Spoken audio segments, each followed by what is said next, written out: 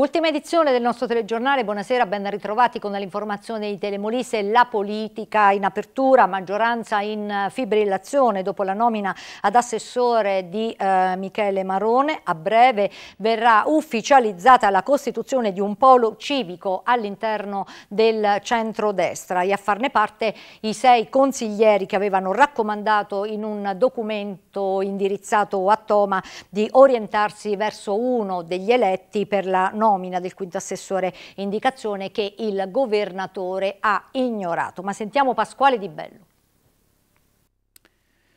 Sono una serie di nubi fosche e minacciose quelle che si stanno addensando sulla regione Molise e il barometro politico segna decisamente tempesta. All'indomani della nomina dell'avvocato Michele Marone ad assessore regionale in quota Lega, monta la fronda all'interno del centrodestra. Quello compiuto dal governatore Toma viene letto come un vero e proprio atto di sfida, in modo particolare dal gruppo di consiglieri che solo qualche giorno fa avevano raccomandato al presidente della regione di procedere alla alla scelta del quinto assessore tra gli eletti in Consiglio regionale. In tal senso è stato sottoscritto e diramato un documento da parte di sei consiglieri di maggioranza, Salvatore Micone, Gianluca Cefaratti, Andrea Di Lucente, Aida Romagnuolo, Filomena Calenda e Armandino De Gidio. L'evidenza palmare dei fatti dimostra che l'indicazione pervenuta a Toma non solo non è stata accolta, ma è stata ribaltata nel corso di poche ore. Il presidente dal canto suo ha ribadito un concetto: il Molise ha bisogno di un amministratore, non di un politico, e io mi occupo di amministrare la regione. Questo per dire a chiare lettere che il tempo dei minuetti e delle quadriglie politiche è finito. Tuttavia lo schema generale si complica, poiché la nomina di Marone non è stata gradita dai consiglieri aventiniani, niente contro la persona, ma viene contestato il metodo seguito per la nomina. Gli accordi, sostengono, erano altri, ovvero bisognava attendere il giro di boa della legislatura per rimettere mano al quadro complessivo degli incarichi istituzionali. A questo punto però il dato è tratto e bisogna riorganizzare le fila. La mossa che ha allo studio, ma sulla quale c'è ormai un accordo definito, è quella di costituire un polo civico composto dai sei consiglieri firmatari del documento indirizzato a Toma e non accolto da quest'ultimo. Un polo civico, dicono, che si ponga come argine allo strapotere di due sole forze politiche nazionali. Il riferimento è chiaro ed è rivolto alla Lega e a Forza Italia.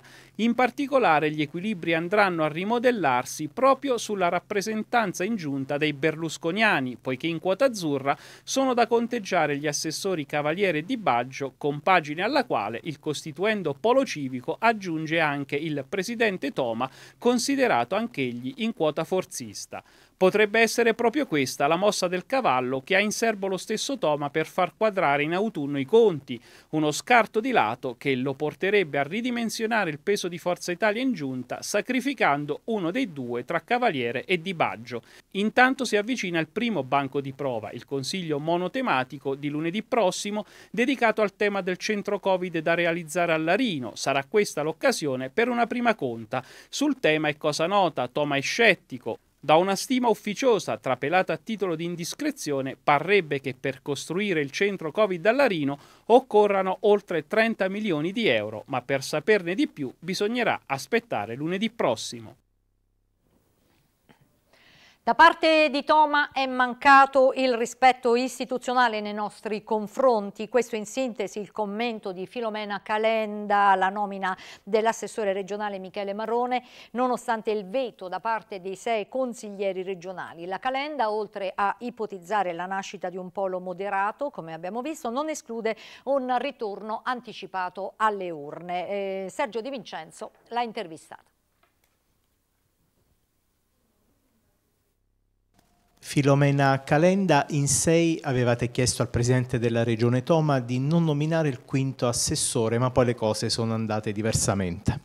Sì, in effetti i sei consiglieri regionali hanno chiesto con un documento firmato e sottoscritto da questi sei consiglieri, hanno chiesto al governatore Toma di non nominare il quinto assessore esterno in attesa delle nuove posizioni che si dovevano ritrovare in seno al Consiglio regionale nella, nel mese di ottobre-novembre, ma ahimè mm, questi consiglieri mi sembra che abbiano subito davvero un grave torto perché non hanno avuto il rispetto istituzionale che a mio parere doveva essere dato.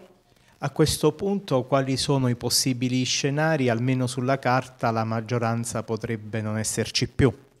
Ma io credo che una maggioranza debba esistere, si chiama maggioranza quando c'è condivisione di progetti, condivisione di idee, ma ahimè tutto questo in, questo, in questa legislatura davvero è, me, è mera utopia. E io davvero ogni giorno mi trovo a, a cospetto di cittadini che mi chiedono in quale mondo viviamo, perché probabilmente in Consiglio regionale siamo attenti a pensare alle nostre poltrone, alle nostre beghe interne, ma i problemi dei cittadini non vengono portati all'attenzione del Consiglio e quindi nessuna modifica a quella che è la vita davvero dei cittadini che meritano più, più rispetto. È ipotizzabile un ritorno alle urne? Ma vede, è ipotizzabile perché io credo che nel momento in cui sei consiglieri regionali eh, firmano un documento comunque di rispetto verso questi consiglieri, ma soprattutto pongono all'attenzione del governatore Toma che qualcosa non sta andando così come si decide nelle riunioni di maggioranza, io penso che questa eh, possibilità possa esserci. Personalmente, e voglio parlare ecco, sempre nel rispetto della mia persona, ma soprattutto noi abbiamo creato questa, questa unione di sei consiglieri che comunque parteciperanno ad un percorso che ci vedrà magari anche in un polo di, eh, di moderati, insomma dobbiamo condividere quelle che saranno le idee progettuali perché nessuno di noi noi vuole andare a casa, ce lo dicono in tanti, nessuno di noi, perché chi è arrivato in Consiglio regionale, personalmente ci sono arrivata per poter dare un aiuto e portare le stanze delle persone, però se necessario io credo che davvero è il caso di ritornare a casa. Ma c'è anche da registrare il durissimo intervento della capogruppo del PD in Consiglio regionale Michaela Fanelli dopo la nomina di eh, Michele Marone. Anche la nuova giunta a trazione leghista è illegittima, ha detto, per violazione del principio della parità di genere e impugneremo gli atti. Sentiamo Tonino Danese. Salvini è arrivato in Molise, ha ordinato e Toma ha eseguito piegandosi alla volontà della Lega Nord. Duro, durissimo il commento della capogruppo del PD in Consiglio regionale Michaela Fanelli alla nomina di Michele Marone come quinto assessore esterno. Secondo l'esponente Dem, la decisione del governatore è uno schiaffo a chi era stato leale con lui anche durante la sessione di bilancio sulla vicenda surroga e il riferimento ai sei consiglieri di maggioranza che hanno firmato il documento e che gli ricordavano gli impegni assunti, di fermarsi e condividere le scelte. Fanelli, alla luce degli ultimi eventi, parla di ex maggioranza per Toma, ricordando una recente indagine che lo colloca penultimo tra i presidenti di regione nel gradimento popolare. Peggio di Attila, dove passa Toma, resta solo il deserto politico, soprattutto per chi continua a dargli credito. È il tagliente giudizio di Michaela Fanelli. Fa poi gli auguri di buon lavoro a Marone, ma il fair play finisce qui perché la consigliera del PD si arma di nuovo di ascia e va giù pesante. Anche Michele Marone sottolinea come il suo predecessore e tutta la giunta sono assessori illegittimi perché ancora una volta non sono state rispettate le quote rosa. Oltre alla considerazione dovuta al genere femminile, infatti, esiste l'obbligo giuridico di avere almeno una donna in giunta, nuovamente disatteso dal nostro presidente. L'ennesimo gesto di disprezzo di Toma, evidenzia Fanelli, contro il quale faremo ricorso e, insieme a tutte le donne che hanno condotto finora questa lotta di principio e di valore, impugneremo i provvedimenti di nomina e porteremo avanti tutte le battaglie politiche per mandare a casa questa ormai non maggioranza. Ci opporremo alla peggiore amministrazione regionale che il Molise abbia mai avuto. Infine la stilettata della capogruppo del PD. Per il nuovo assessore, conclude, sarà davvero arduo fare peggio di quanto fatto fin qui dalla Lega Nord per il Molise, cioè nulla. Cambiamo argomento, vediamo l'aggiornamento sulla situazione coronavirus in regione in base all'ultimo bollettino diramato dall'ASREM. Nessun positivo nelle ultime 24 ore su 305 tamponi processati, 3 le persone guarite, uno di Isernia e due di Belmonte del Sannio. Uno dei pazienti ricoverati a terapia intensiva è stato spostato a malattie infettive. I positivi attualmente sono 117. Adesso vediamo la mappa dei contagi, 86 a Campobasso, 11 a Termoli, 4 a Cercemaggiore e Portocannone e poi 1 a Belmonte, Baranello, Campolieto, Castellino del Biferno, Gambatesa, Macchiagodena, Montaquila, Oratino, Poggio Sannita, San Giuliano del Sannio, San Martino in Pensilis e Vinchiaturo. 118 sindaci del Molise con una nota congiunta eh, sostengono le ragioni per cui il Vietri di Larino è il candidato ideale ad essere il centro di Covid di eh, riferimento regionale. Cresce quindi il movimento trasversale che si è creato intorno alla proposta. Sentiamo. Sindaci del Molise compatti e quasi al completo hanno sottoscritto una nota a sostegno della proposta di realizzare un centro Covid per le malattie infettive al Vietri di Larino. 118 le firme in calce al documento, senza distinzione di provincia, senza distinzione di colore politico, con cui si spiega il perché quella avanzata dal commissario ad acta Angelo Giustini sia una buona proposta. Nella nota vengono ricostruite tutte le tappe che hanno portato alla scelta, dai passaggi politici e amministrativi, ricordando quello anche in Consiglio regionale. All'urgenza di individuare una struttura per il trattamento dei pazienti Covid slegata da quelli no Covid, come sta succedendo in tutte le altre regioni d'Italia. Gli stessi primari del Cardarelli avevano sollevato le criticità nel trattare nella stessa struttura pazienti Covid e no Covid, una scelta, quella del Vietri, sostenuta anche dalla diocesi di Termoli Larino e trasversalmente da numerosi rappresentanti delle istituzioni anche regionali. Nella nota dei sindaci cappeggiati da Pino Puchetti si ricordano poi le caratteristiche caratteristiche dell'edificio che farebbero del Vietri il candidato ideale. Una struttura moderna di recente costruzione con elevati standard di sicurezza, con una favorevole posizione geografica a pochi chilometri dalla 14, con una superficie di oltre 3.000 metri quadrati, di cui solo un terzo utilizzati per posto letto di RSA e riabilitazione, per la presenza poi di circa 150 posti letto dotati di ossigenoterapia e aspiratori predisposti, per la presenza di sei sale operatorie di cui una funzionale funzionante, senza dimenticare la camera iperbarica che per anni è stata il riferimento per il centro-sud. Insomma, il Vietri, secondo i sindaci, è il candidato ideale stando alle linee di indirizzo proposte proprio dal Ministero della Salute. Una conferenza stampa per presentare la manifestazione di protesta che si terrà il 23 giugno a Campobasso presso il Consiglio regionale è stata organizzata davanti al Vietri di Larino dal SOA e dai comitati in seno al problema e il cittadino c'è. La manifestazione sarà a sostegno della sanità pubblica e della proposta di Larino come centro Covid per il quale i comitati hanno quantificato in 10 milioni di euro il costo di riattivazione dei vari reparti. Un ospedale che sarebbe a servizio di tutto il Molise, punto di riferimento interregionale per le malattie infettive.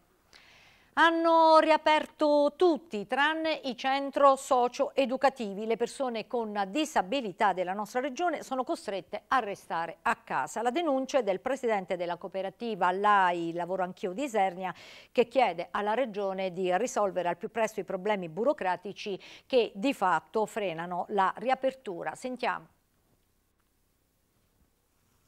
Per chi frequenta i 12 centri socio-educativi del Molise la quarantena di fatto continua. Almeno per ora centinaia di ragazzi con disabilità sono costretti a restare a casa. Le cause vanno ricercate in una determina che non solo è stata fatta in ritardo, ma che ha anche creato un cortocircuito tra Asrem e Regione, ha detto Nino Santoro, presidente della LAI Lavoro Anch'io di Sernia. Nella sua cooperativa si è creato un paradosso. I tre ragazzi assunti possono lavorare, mentre gli altri che frequentano nel centro socio-educativo sono costretti a restare a casa. Sono in, agli arresti domiciliari pur non avendo commesso nessun reato. In pratica abbiamo potuto riaprire le attività solo per i ragazzi assunti in cooperativa, mentre il centro socio-educativo e tutti i centri socio-educativi della regione Molise sono ancora chiusi oggi che è 10 di giugno.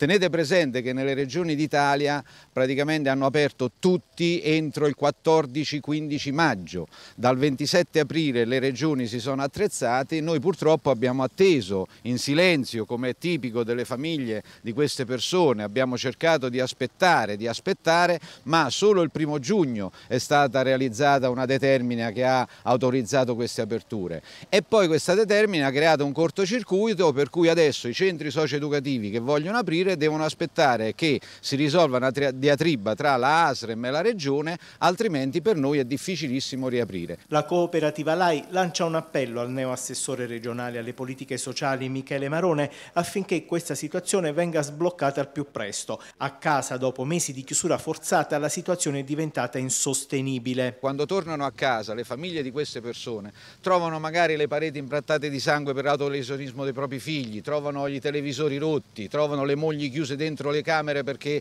vengono aggredite da questi ragazzi che con la disabilità mentale hanno dei momenti veramente, hanno avuto momenti estremamente complicati, tra cui gli effetti paradosso, insomma, capito? E l'effetto paradosso è proprio questo, cioè com'è possibile che tutta l'Italia ha aperto e noi siamo ancora chiusi? Questa è la domanda. La chiusura forzata, oltre a creare difficoltà alle famiglie, sta bloccando le attività agricole e artigianali della cooperativa. Ci siamo fermati con tutte le piccole e medie e anche eh, eh commesse di, mm, di, privati e ci siamo dovuti fermare per forza e quindi al posto di andare avanti stiamo andando indietro. È urgente che venga riaperto. Abbiamo tante di quelle targhe da fare per le campagne, per le ville, per le villette e ci siamo dovuti fermare. Quindi aspettiamo con ansia che il centro venga riaperto. È urgente.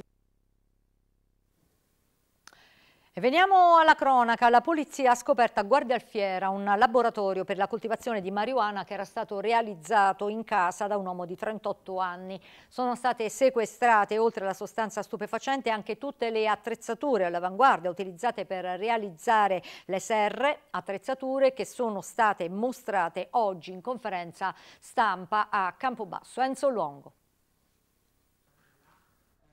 Un laboratorio all'avanguardia con tanto di serre montate in due piani della sua abitazione a Guardia Alfiera e questo tutto il materiale sequestrato dalla polizia a casa di un uomo di 38 anni che vive con il padre. Aveva messo in piedi un'attività di coltivazione della marijuana che però in piena quarantena per il coronavirus non è sfuggita alla polizia. I risultati dell'operazione Drag Indoor sono stati presentati in conferenza stampa alla scuola di polizia di Campobasso dal questore Giancarlo Conticchio, con lui il procuratore di Larino Isabella Ginefra e il dirigente del commissariato di Termoli Maria Concetta Piccitto. Sì, è un'operazione che segue a un'attività di indagine nata e maturata durante il lockdown. Durante il lockdown la Polizia di Stato ha lavorato sotto traccia.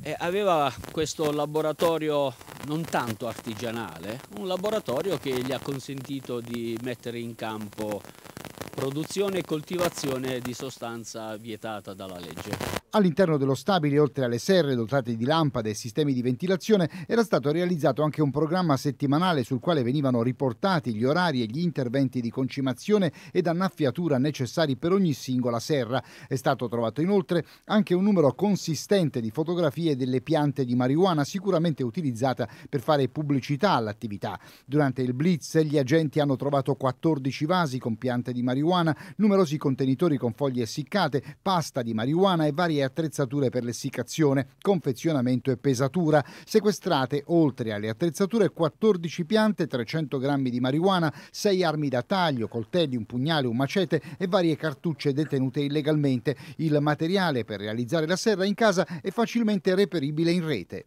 Mi lascia sempre abbastanza basita eh, vedere come è facile eh, digitare coltivazione di sostanze stupefacenti e hai quasi come se fosse un ricettario di cucina tutto, le indicazioni su tutto ciò che serve. Eh, questo crea un problema anche di eh, difficoltà maggiore per la polizia nel riuscire a individuare, perché quelli che sono sempre stati consueti canali e anche le consuete modalità, cioè gli appostamenti, i controlli su strada, eccetera, l'osservazione, eh, devono essere necessariamente rivisitati alla luce di nuove forme di, di, di spaccio, di attività, di produzione. L'uomo è finito agli arresti domiciliari con le accuse di coltivazione e produzione di sostanze stupefacenti. Non aveva precedenti per droga, ma per detenzione illegale di armi. Dopo l'udienza di convalida si è visto applicare l'obbligo di dimora a Guardialfiera.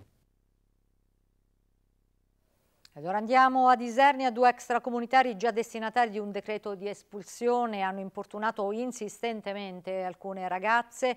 In loro difesa è intervenuto un giovane isernino che è riuscito a far allontanare i due che però sono tornati sul posto e hanno aggredito il ragazzo cercando di colpirlo con una bottiglia di vetro rotta. Il giovane è riuscito ad evitare i colpi rivolgendosi ai carabinieri che hanno rintracciato i due extracomunitari e per entrambi è scattata la denuncia. Un anno e mezzo fa eh, una sparatoria a Petacciato perché due residenti erano stati scambiati per rapinatori da due poliziotti della mobile di Vasto. Per uno di loro la procura di Larino ha chiesto il rinvio a giudizio per uso illegittimo delle armi e l'udienza è stata fissata per il 7 dicembre del 2020. Sentiamo.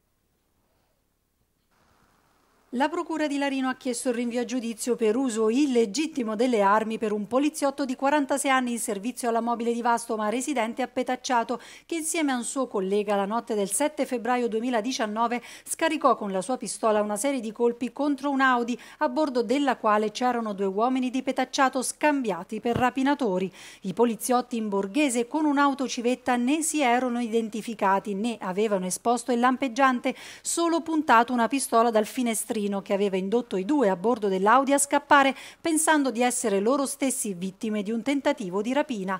Alla fuga dell'auto gli agenti avevano esploso diversi colpi, l'ultimo dei quali a distanza ravvicinata sul bordo della carrozzeria, mandando in frantumi il finestrino con l'altissimo rischio di colpire due innocenti. Per quel gravissimo episodio ora il procuratore capo Isabella Ginefra ha chiuso le indagini e chiesto il rinvio a giudizio per l'agente di Petacciato che aveva sparato contro l'auto, mentre per il collega che aveva sparato sparato in aria alle ruote è stata chiesta l'archiviazione, a cui si sono opposti i difensori dei due uomini di Petacciato, gli avvocati Diego Sabatino e Alberto Di Vito, che hanno intentato una causa anche con il Ministero dell'Interno per chiedere il risarcimento danni morali e materiali per l'operato dei suoi due dipendenti. L'udienza preliminare è stata fissata al 7 dicembre, intanto la vettura del malcapitato di Petacciato non è mai stata restituita.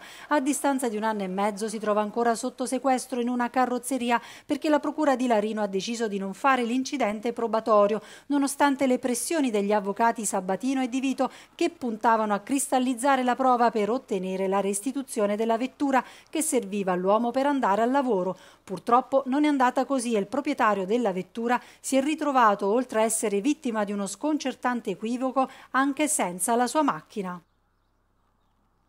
Il comune di Termoli ha affidato alla Lifeguard di Pescara il servizio di salvataggio per le spiagge libere di Termoli. Dopo regolare gara, l'assistenza ai bagnanti sarà garantita tutti i giorni della settimana a partire dal 12 giugno e verrà quindi revocato il divieto di balneazione che aveva scatenato tante polemiche. Oggi ricorre l'anniversario del delitto Matteotti, ricordato in Molise dall'Associazione Arti, Cinema e Teatro di Campobasso che ha prodotto con la Fondazione Molise Cultura lo spettacolo teatrale Il mio nome è Tempesta, il delitto Matteotti. La rappresentazione, rinviata a causa dell'emergenza Covid, è stata riprogrammata e a breve saranno comunicate le nuove date. Scritto dalla giornalista Carmen Sepede, diretto dal regista Emanuele Gamba, lo spettacolo avrebbe dovuto andare in scena oggi a Roma, proprio in concomitanza con il 96esimo anniversario della morte di Matteotti. A giorni dunque si conosceranno le nuove date con quella del debutto al Teatro Savoia di Campobasso. Le scuole di Sernia hanno chiuso l'anno scolastico incontrandosi durante una eh, diretta su YouTube promossa nell'ambito del Majorana Fascitelli Day. A loro, e in particolare ai ragazzi che si apprestano ad affrontare gli esami, è arrivato anche un messaggio del direttore dell'ufficio scolastico regionale Anna Paola Sabatini. Sentiamo a distanza ma tutti insieme per condividere i momenti più belli vissuti in questi mesi. Così le scuole di Serni hanno chiuso un anno scolastico particolare, gli istituti comprensivi San Giovanni Bosco e Giovanni XXIII e gli istituti superiori Fermi Mattei e Maiorana Facitelli si sono incontrati in rete su YouTube per confrontarsi e raccontare ciò che hanno fatto prima e durante l'emergenza. L'incontro è stato proposto nell'ambito del Maiorana Fascitelli Day, un'edizione significativa significativa proprio perché ha permesso agli studenti dei vari istituti del capoluogo di provincia di sentirsi più vicini dopo gli ultimi difficili mesi passati a casa a fare lezioni a distanza. A loro è giunto anche il saluto del direttore dell'ufficio scolastico regionale, Anna Paola Sabatini. Un abbraccio ideale a tutti i nostri studenti, a quelli che stanno per finire questa straordinaria avventura eh, della scuola secondaria superiore, un in bocca al lupo per gli esami di maturità, sarà un'esperienza bellissima, sarà un'esperienza che ricorderete per tutta la vita e sarà bellissima anche quest'anno con le nuove modalità. È un abbraccio particolare ai più piccoli che si avviano in un percorso lunghissimo, 5 anni sono tanti tantissimi, entrerete da ragazzini e ne uscirete da adulti. Noi così come ci siamo oggi saremo sempre accanto a voi. Ripercorrere il film dell'anno scolastico ha permesso a tutti di rivedersi e apprezzare tanti lavori realizzati sia a scuola sia online. Musica, arte, teatro, videoclip, disegni. Nelle oltre due ore di diretta si è visto davvero di tutto. Ci si è resi conto che nemmeno il virus è riuscito a tenere a freno la creatività e l'entusiasmo degli studenti, tra l'altro protagonisti di incontri di grande spessore, su tutti quello con il Presidente del Consiglio Giuseppe Conte Conte o ancora con il magistrato Raffaele Cantone, con il presidente emerito della Corte Costituzionale Paolo Grossi, con il poeta Alessandro Fo e la scrittrice Chiara Gamberale. Mentre a chiusura di anno scolastico il dirigente del Majorana Fascitelli, Carmelina Di Nezza, ha proposto un collegamento con il questore di Sernia Roberto Pellicone e il dirigente dell'ufficio volanti Pasquale Marcovecchio, un'occasione per riflettere sui valori di cittadinanza attiva, ma anche sull'importanza del rispetto delle regole e della necessità di comportarsi in maniera responsabile anche in questa fase di emergenza. E veniamo ora alla rubrica Le parole della medicina. Oggi il dottore Italo Marinelli ci parlerà della sindrome del burnout, un grave disturbo psicologico che colpisce gli operatori sanitari soggetti a stress emotivo e professionale. Buongiorno, oggi parleremo della sindrome del burnout. Burnout dall'inglese bruciarsi letteralmente. Che cos'è? È, una, è un disturbo psicologico che colpisce eh, soggetti eh, che svolgono professioni di cura alle persone, quindi medici, infermieri, ma anche insegnanti, dovunque ci sia una relazione interpersonale. Um, che cosa, che cosa succede a queste persone? Eh, succede che dopo una fase iniziale di entusiasmo idealistico nella quale ci si mette al servizio, si hanno tante idee, tante speranze, tanta buona volontà, può subentrare in condizioni di stress, in condizioni di difficoltà lavorativa, una fase di stagnazione nella quale ci si rende conto che la realtà è un po' diversa dalle proprie aspettative e dai propri ideali. Poi se le cose vanno avanti mh, mm, eh, subentra un senso di frustrazione perché ci si sente mh, mm, poco realizzati, ci si sente eh, inutili, ci si sente insoddisfatti ehm, e alla fine eh, come, come, risposta finale subentra uno stato di vera e propria apatia. Eh, spersonalizzazione, non si guarda più alla persona che abbiamo di fronte come persona, ma come potenziale diciamo, fonte di fastidi, eh, noia, ehm, assenteismo lavorativo. In altri termini si va verso una sorta di morte professionale. Eh, sono molto a rischio di burnout il personale che lavora in oncologia oppure in malattie croniche a esito mh, eh, infausto. Perché? Perché il loro investimento emotivo molto forte, il loro legame con le persone di, con, di cui si occupano, li porta a, alla fine a uno stato di frustrazione. Beh, le cause del burnout sono, sono tante. Eh, sono, sono, di diversa natura, cause organizzative, superlavoro, stress, eh, iniquità nell'ambiente di lavoro, eh, mancanza di, di, senso di gruppo, ma pensiamo a quanto burnout produrrà l'epidemia da Covid. Io credo che sarà un grosso problema perché eh, questi colleghi, tutti siamo stressati, ma quelli che sono stati in prima fila veramente hanno, hanno subito um, un gravissimo stress. E se pensiamo che oggi con l'epidemia che sta finendo già cominciano ad arrivare le prime denunce verso questi soggetti, io credo che il burnout per loro sarà, uh, sarà quasi inevitabile purtroppo.